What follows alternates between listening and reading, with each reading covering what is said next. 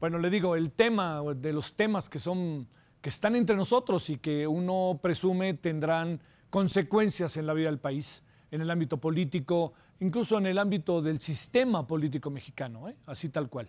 Le queremos agradecer a Andrea Cárdenas, periodista de Quinto Elemento Lab, que esté con usted y con nosotros. ¿Cómo te va, Andrea? Muy buenas noches. Muy buenas noches, Javier. Muchas gracias por la invitación. Saludos a todo el auditorio. Gracias, de este, Andrea. A ver, ¿hace cuánto te metiste en este tema, Andrea? Bueno, yo empecé a reportear este tema, este, el caso de Emilio Lozoya Odebrecht, hace aproximadamente un año, unos tres meses más. Sí. Eh, pero sin embargo, en quinto, desde la organización Quinto Elemento Lab, que comenzó a investigar este tema desde mediados del año de 2017. Y desde entonces no hemos soltado el tema, hemos seguido investigando esta trama, dándole seguimiento, esclareciendo eh, cómo se dieron los, los primeros pagos ilegales por parte de la constructora Odebrecht, Emilio Lozoya, y después seguimos con otras investigaciones y la última que publicamos fue a principios de este año, mediados de este año, y, seguimos en, este, en esto, Javier. A ver, que seguramente... no, adelante, adelante, Andrea, que seguramente dices. No, que seguramente va a seguir evolucionando conforme vayan eh, abriéndose estas audiencias en las que en los próximos días veremos eh, la llegada. Bueno, ya Emilio Lozoya, Emilio Lozoya viene volando en estos momentos después de su escala en Canadá y, y a partir de que llegue aquí y comiencen las audiencias, pues va, a ser un tema en el que vamos a prestar mucha atención desde quinto elemento. A ver, Andrea, déjame plantearte algo, créeme, no, no te pido una bola de cristal, ¿no? Pero yo te pregunto, eh, ¿qué presumes que haya grabado el señor Lozoya? ¿Qué intuyes en función de lo que investigaste? ¿Cuáles serían, piensas tú, esos elementos que hoy nos tienen tan, tan atentos, ¿no? por todo lo que esto significa, porque también hay otra variable, ¿no, Andrea? Que es el hecho de que eh, no hemos visto nada. Eh, yo no sé, digo, si haces una negociación, supongo que alguien ya vio algo, ¿no? O alguien ya escuchó algo en el gobierno y por eso empieza a soltar el asunto. Pero aparece un gobierno con una fiscalía que ya no está resultando tan independiente. Pero para entrar directamente en las vueltas que le das, en los hallazgos que tienes, ¿qué presumes que puede estar grabado, no tanto, en verdad te lo digo, eh, como para atinarle, sino para entender la trama. Mira, eh, creo que decir qué es lo que está grabado, o las pruebas o evidencias que pueda llegar a presentar Emilio Lozoya, es, es un poco especular. En, vaya, no lo quiero decir así, pero no tenemos esa evidencia, ¿no? No conocemos, al día de hoy sabemos muy poco y no conocemos cuáles son las, las claves de este acuerdo de colaboración que pactó la Fiscalía General de la República con Emilio Lozoya y por eso es muy importante darle seguimiento a cómo se van a desahogar estas audiencias.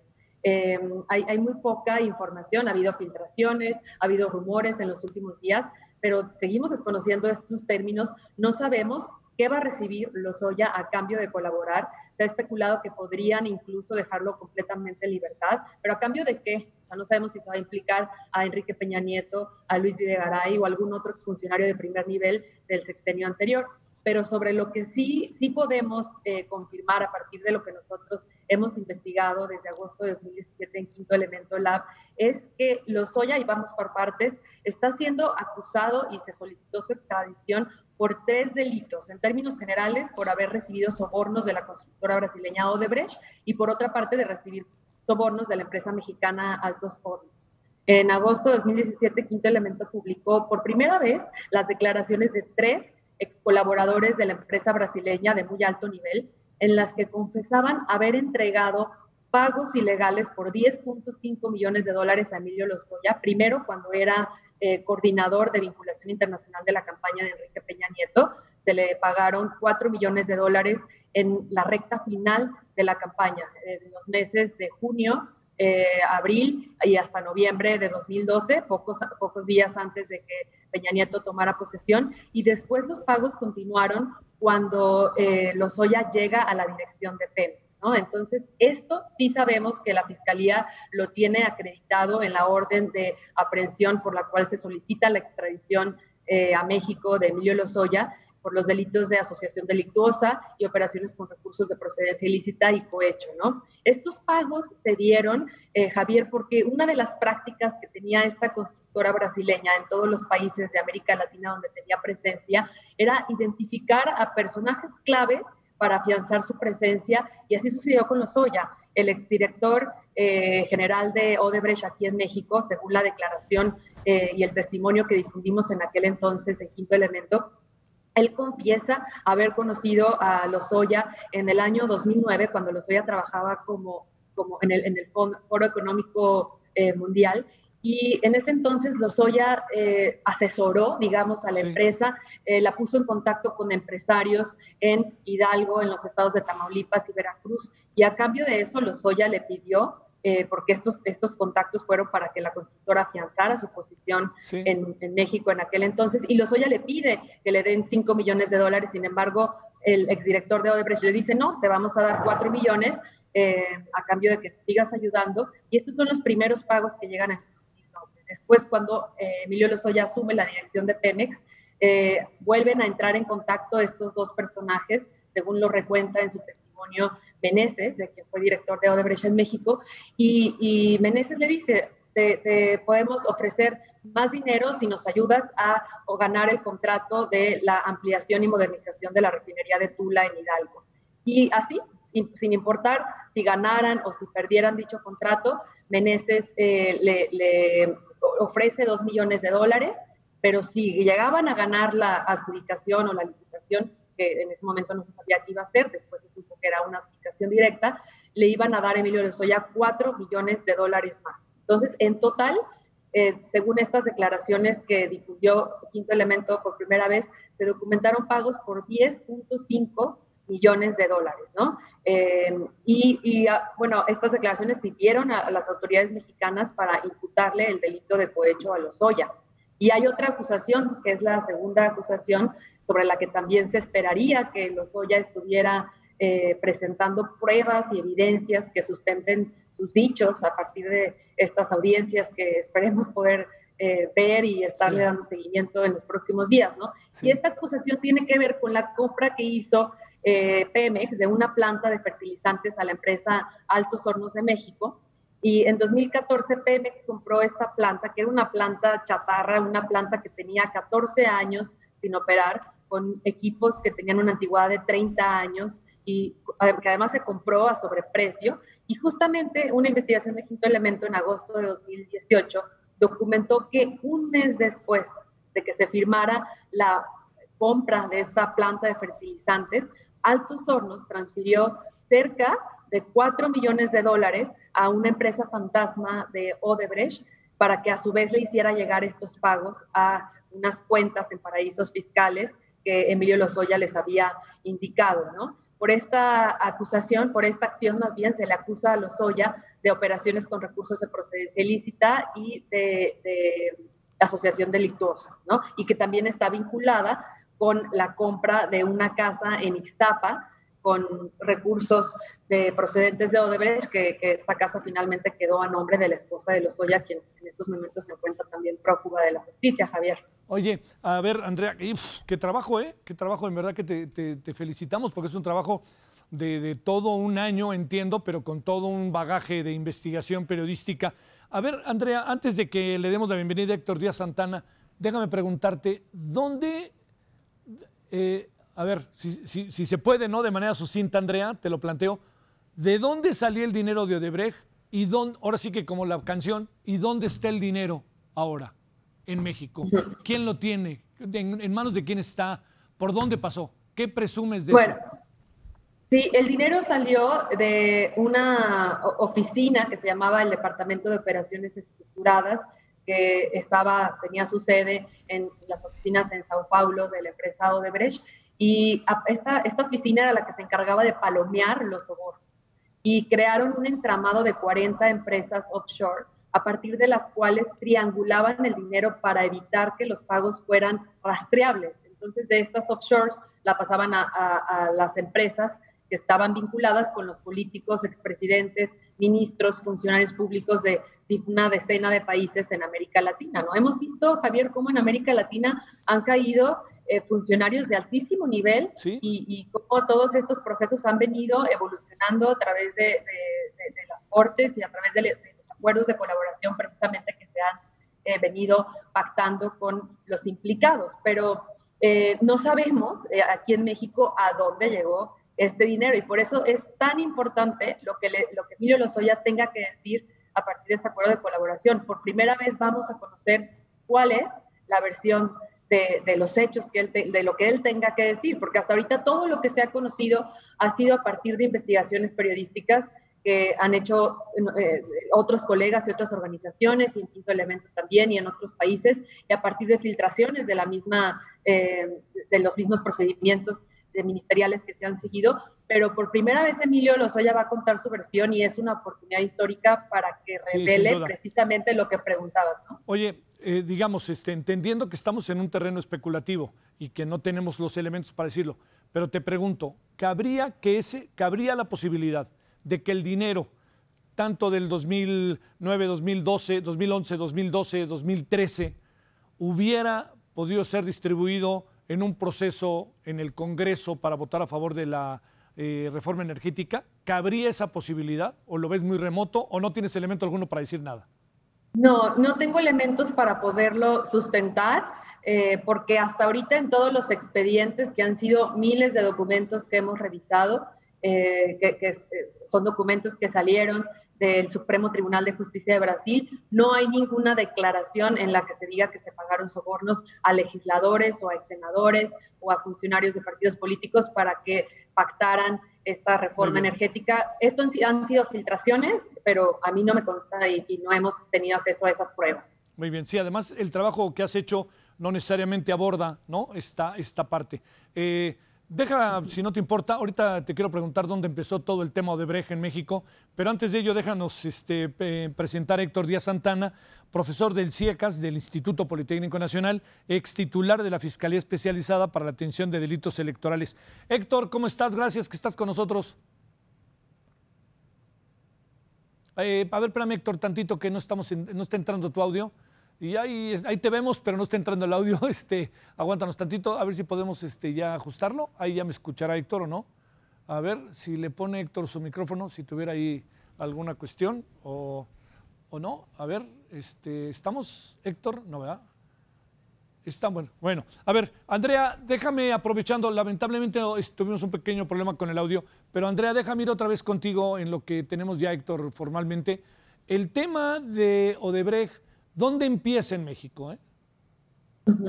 Bueno, si nos vamos atrás, eh, eh, nos vamos a, llega la empresa a finales de los años 90, durante el sexenio de, bueno, a mediados de los años 90, en el sexenio de Carlos Salinas de Gortari. Es cuando la empresa llega y empieza a afianzar su posición y a tener los primeros contratos. Pero en aquel entonces todavía no se bueno, hay que recordar que no había ninguna acusación. Pasó, tuvo presencia en este, en este sexenio, en el sexenio de Vicente Fox, en el sexenio de Felipe Calderón también, no se diga en el sexenio de Enrique Peña Nieto, pero es hasta el sexenio de Enrique Peña Nieto cuando se le empieza a investigar y cuando esta empresa en 2016 acude a las autoridades ministeriales de Estados Unidos a, soltar toda esta información y a decir que, que sobornaron prácticamente a, la clase política, a expresidentes, a ministros, a funcionarios de 12 países de América Latina y un país de África. Y es, es hasta entonces cuando empieza a tomar relevancia este caso aquí en México, ¿no? Antes, eh, pues sí, recibió algunos contratos, pero, pero hasta ahí. No sabemos también hasta dónde llegó y, hasta qué expresidentes pueda llegar a alcanzar, ¿no? Porque si nos vamos, por ejemplo, al caso de Perú, Javier, en Perú a partir del acuerdo de colaboración que se hizo con, los implicados en esta trama de corrupción, eh, sobornados por la empresa Odebrecht, eh, se logró corroborar que la corrupción y que los sobornos y los pagos ilegales alcanzaron a cuatro expresidentes, desde Alejandro Toledo hasta Alan García, que se suicidó. Igual en Brasil hubo dos expresidentes involucrados, uno de ellos, Lula da Silva, estuvo eh, en prisión y fue juzgado por hechos de lavado de dinero y corrupción. En Panamá también han sido procesados eh, ministros, el, ex vicepresidente, igual en, Colombia, en, fin, en, varios países hemos visto cómo ha avanzado este caso. Oye, una última, eh, antes de ahora irnos con Héctor, este, ¿presumes que pudieron darse situaciones similares a las que vemos ahora, en mayor o menor medida, en el pasado mexicano en su relación con Odebrecht? O no? ¿O tienes alguna idea o no, no, no queda muy claro qué pudo haber pasado? No queda muy claro qué pasó en el pasado, valga la redundancia, porque el, el, acuerdo, vamos, las declaraciones que hicieron estos tres personajes eh, de, que fueron colaboradores de la, de la, empresa, que fue el ex vicepresidente de América Latina de Odebrecht, el presidente de México y el director de esta oficina que palomeaba los sobornos, nada más se limitaron a platicar qué fue lo que pasó en el sexenio pasado, o sea, y, y en años muy concretos, ¿no? Al inicio del sexenio y nada más contaron que entregaron 10.5 millones de dólares, pero puede que haya más pagos, porque eh, lo que sí llama la atención es que en México nada más haya un exfuncionario público señalado de haber recibido sobornos, cuando en otros países fueron decenas y decenas, ¿no? Entonces, eh, por eso es importante este acuerdo de colaboración y ver el impacto y la trascendencia que va va a tener, porque un tema muy importante que tiene que ver con la presunción de que los primeros pagos por 4 millones de dólares terminaron en la campaña presidencial de Enrique Peña Nieto. Hay que recordar que, este delito ya prescribió, como lo dijo el fiscal Ortiz Pinchetti, eh, pero no por eso se nos debe negar el derecho a conocer eh, la verdad y a conocer qué fue lo que pasó. ¿no? Es un tema que debería de ser tocado eh, por el interés público que ha despertado y que debe de llegar hasta el fondo, porque como Lozoya lo ha dicho, él no se mandaba solo, ¿no? Arriba de él solamente estaban dos personajes, Enrique Peña Nieto y Luis de Garay en la campaña. Entonces habrá que estar atentos a ver cuáles son los detalles que ofrece sobre este caso, cómo se distribuyó el recurso o si hay otros pagos que, que no han sido conocidos públicamente. Por eso es importante porque este tipo de acuerdos lleguen y sean exhaustivos y lleguen al fondo del asunto para poder tener una radiografía completa, porque no sabemos si lo que se ha documentado hasta ahora es una rebanada del pastel o es el pastel completo. Es todo el pastel. Oye, una última pregunta que te hago, Andrea. Este, eh, digamos, se ha insistido desde hace algunos eh, años, eh, más allá de no me mandaba solo, que es difícil que, que los caminos no confluyan hacia el presidente Enrique Peña Nieto, hacia el expresidente Enrique Peña Nieto. La investigación que has desarrollado coloca decisiones tomadas por un alto funcionario en Pemex que uno presumiría que es muy difícil que el presidente en turno no estuviera al tanto de ellas, no se viera beneficiado o simplemente se hiciera de la vista, de la vista larga, pero al fin y al cabo él tendría información sobre ello. Esa es una pregunta. Todos los caminos, como se ha dicho los últimos días, meses, yo lo decía, yo lo decía desde enero y supongo que igual que tú, Andrea, que todos los caminos llevan a Peña Nieto. Esa es una. Y la otra es, toda la lana que estaba ahí, ¿qué, ¿toda la tiene Peña Nieto en Iztapa en su casa? ¿O qué, qué, qué presumimos se la dieron a Luis de Garay, al presidente Peña? ¿A qué, qué presumes en este proceso de distribución de los panes? Pues precisamente eso es lo que va a tener que aclarar Emilio Lozoya y lo que estamos esperando que se sepa, porque hasta ahorita logramos nosotros documentar las transacciones de las offshore de Odebrecht a las empresas en paraísos fiscales de Lozoya. O sea, sabemos que el dinero cayó ahí, pero no sabemos ese dinero a dónde llegó. Si ese dinero fue transferido a la cuenta de Peña Nieto, de Villegaray, o si nada más se utilizó para comprar la casa en Ixtapa. Hay que recordar que también se documentó por parte de una investigación de Mexicanos contra la Corrupción, que Emilio Lozoya compró una casa con recursos procedentes de Odebrecht en el exclusivo fraccionamiento de Lomas de Besares en la Ciudad de México, ¿no? Entonces sabemos que por lo menos hubo dos inmuebles eh, que se adquirieron con estos recursos de procedencia ilícita, pero no sabemos si hubo más funcionarios eh, que, se beneficiaron con estos pagos. Y precisamente este es un tema importante que tiene que ver con la evidencia y la documentación que va a presentar Lozoya para sustentar todos sus dichos. O sea, no nada más importa aquí que diga, sino también cómo lo puede probar. Lo que hemos visto a partir de las investigaciones de otros colegas, en donde las investigaciones han, han llegado más lejos por parte de la justicia en otros países de América Latina, es que en donde se alcanzó un acuerdo de colaboración con los imputados, estos imputados no nada más iban y se sentaban en el banquillo de los acusados y decían, bueno, esto es lo que yo sé, no, o sea, presentaban estados de cuenta, pago, las transferencias, o sea, información de calidad que nos permita hilar y atar todos estos cabos que están sueltos y contestar estas preguntas que, tú te que tú me estás haciendo y que yo también me he hecho en estas, a lo largo de estos años que hemos estado investigando este tema, pero que no encontramos respuestas porque no hemos tenido acceso a los estados de cuenta de las empresas en paraísos fiscales eh, con cuentas en Suiza de Emilio Lozoya. Entonces, esa es la gran interrogante, hasta dónde Lozoya va a cooperar y a colaborar en esta investigación. Oye, no te vayas, este, vamos a conversar brevemente con, con Héctor Díaz Santana, pero quisiéramos ver, por lo que nos va a decir Héctor, creo que será muy interesante escuchar también tu opinión. Y ahora sí, Héctor, creo que te podemos dar la bienvenida, ¿verdad?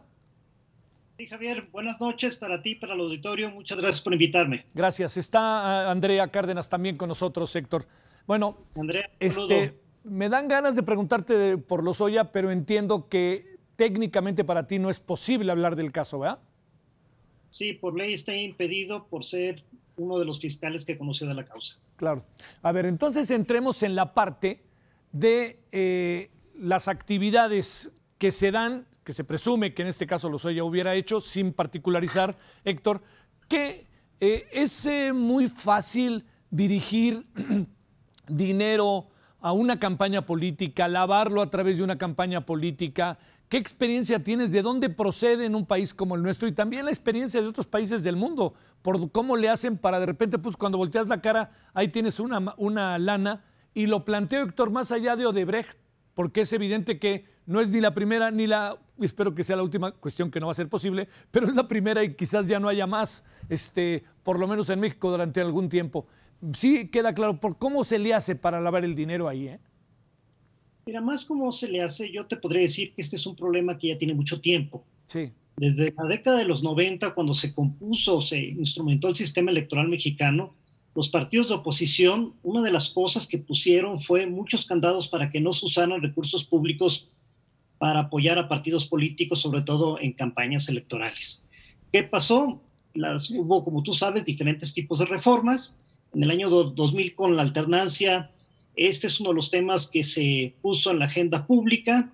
Se incorporaron nuevas medidas, nuevas acciones por parte del gobierno federal. Hicieron un, tema que se llamaba de blindaje electoral. Y yo lo que te puedo decir, que ya van prácticamente 30 años hablando sobre este tema y que no ha sido posible, por lo que hemos conocido, que algunas campañas estén libres de haber ingresado recursos públicos. ¿Y esto por qué se da? Principalmente por dos cosas. La primera, porque en México la fiscalización de los partidos políticos es muy complicado. Muchos de las, digamos, de los gastos de campaña se hacen en efectivo, se hacen de manera triangulada. Eh, tú sabes que existen eh, topes a los, digamos, a los gastos de los partidos políticos. Te pongo un ejemplo, un tope para un, para un candidato a diputado federal es de millón y medio. Millón y medio se lo gastan en tres encuestas. Entonces hay topes que son muy reducidos las campañas electorales son muy caras y en un momento dado lo que hacen es buscar la forma de cómo en un momento dado se evadir toda, toda la parte de fiscalización. Y creo que a la fecha uno de los problemas es que aunque la ley y el artículo 41 de la Constitución te señala que los partidos políticos que excedan un 5% de los gastos de campaña, la campaña se anula, pues, no ha habido un solo caso en la historia de México que se haya anulado una campaña por, por excesos de gastos de campaña. Y tú me preguntabas, ¿qué se hace en otros lugares? Por ejemplo, Estados Unidos es un lugar donde tú sabes que se gasta mucho en campañas electorales, la recaudación es totalmente abierta, ahí sí no tienen problemas que eh, asociaciones diversas o empresas participen con los partidos políticos, pero esto lo hacen de una manera clara, transparente, abierta, y en un momento dado, si hay financiamiento irregular, tanto el partido el candidato como la persona que es el contribuyente tiene sanciones espectaculares, ¿no? Pero muy, muy, muy fuerte. ¿Qué ha pasado? Pues América Latina tenemos otra, otra tradición. América Latina estamos en los procesos de, de construcción. Yo digo que México tenemos el mejor sistema electoral en el mundo y esto ha sido probado y, y es reconocido por, por Naciones Unidas y por organismos especializados en materia electoral tú has visto, tenemos una muy buena organización de la elección, pero el problema son las condiciones de competencia política. ¿Qué quiere decir? Que hay actores políticos que no respetan las leyes y esto se hace evidente. Un ejemplo te puedo dar. que en México, desde el año 1994 a la fecha, el Tribunal Electoral del Poder Judicial de la Federación ha conocido de 220 mil casos. No hay un lugar en el mundo donde se impugne tanto y si se impugna es porque hubo condiciones de carácter irregular. Y bueno, y regresando al tema de, uso de recursos públicos para campañas, yo te podría decir que esto se puede dar de dos formas. Una, como de manera, digamos, este, con obra pública, este, buscando una contribución particular que se vaya a un partido político, aunque, aunque se diga que se vaya a un partido político, nunca sabe si se va al partido político. Y la otra, pues también hay una línea muy delgada, y yo te podría decir con, el tema del clientelismo político. Los programas sociales son para construir capital humano, para sacar a las personas de la marginalidad, y cuando se usan los recursos públicos en favor de partidos políticos y candidatos, estás generando también mayor pobreza y de cierta manera se está aprovechando de manera indirecta los recursos públicos. ¿Qué ha pasado? Clientelismo político y uso de programas sociales, se ha documentado que todos los partidos políticos en un momento dado han sido denunciados por esta causa. Entonces, en síntesis, si es un tema que hay que trabajar, es un tema que tiene que ser una responsabilidad eh, multilineal, transversal. Por ejemplo, cuando se genera una obra pública, las Contralorías, las la Auditoría Superior de la Federación y todos los mecanismos que se tengan de fiscalización tienen que verificar que la obra pública, uno, eh, cueste lo que, digamos, por ley se licitó, que no existan sobreprecios. Dos, que las obras públicas se hagan. Y número tres, que en un momento dado este mecanismo de fiscalización y rendición de cuentas, a la primera que exista algún tipo de denuncia pública, se tiene que investigar de manera contundente. En, estos temas, cuando existen los rumores, creo que lo mejor es investigarlos de manera rápida. A ver, Héctor, una sola pregunta última que te hago. De los 220 mil casos desde 1994, ¿cuántos se habrán resuelto? Eh? No, de los 220 mil casos es de todas las impugnaciones que se han hecho. Sean, sean, sean, favorables, sí, claro. Procedan o no. Sí, sí, 222 mil en todas las materias. Y se han, se han, resuelto la mayor, 200, casi todos han resuelto, ¿no? Pero no todos tienen que ver con financiamiento irregular. Yo lo que te estoy poniendo como ejemplo es que este es un ejemplo de cómo los actores políticos participan en los procesos electorales. Y te pongo un ejemplo. Por ejemplo, en la elección pasada del 2018, la Fiscalía Electoral recibió 3.000 denuncias por delitos electorales. En España, en la elección que ellos tuvieron, la elección pasada, no tuvieron una sola denuncia. Entonces, y en otros países en Europa no existen tribunales especializados ni fiscalías electorales.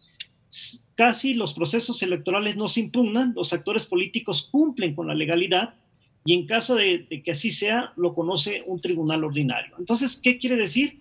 Que tenemos un problema de cultura política, de ética, ética, ética pública, y que esto se refleja en temas como de, de, financiamiento irregular y uso de recursos públicos. Pues creo, Andrea, para cerrar, que tenemos un asunto grande si nos atenemos a la investigación que has hecho y lo que pueda pasar en el caso de referencia de Emilio Lozoya, ¿no, Andrea?